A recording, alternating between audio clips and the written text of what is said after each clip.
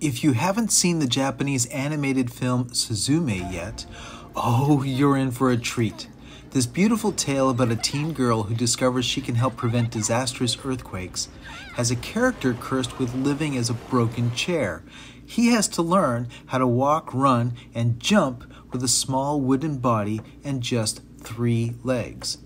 Awkward and yet impressive, the film's animators have mastered the physics of how three legs on a rigid body would actually work. It's very entertaining. This impressed the robotics laboratory at the University of Tokyo, and so a group there has made a copy of the little chair and then added robotics to make it come to life. They had to program the robot to figure out how to stand up and walk when badly balanced, and were delighted when the little robot came up with a different walking gait for different situations. Both the movie and the robot explore the same thing the importance perseverance has in overcoming life's challenges, whether you have three legs or two.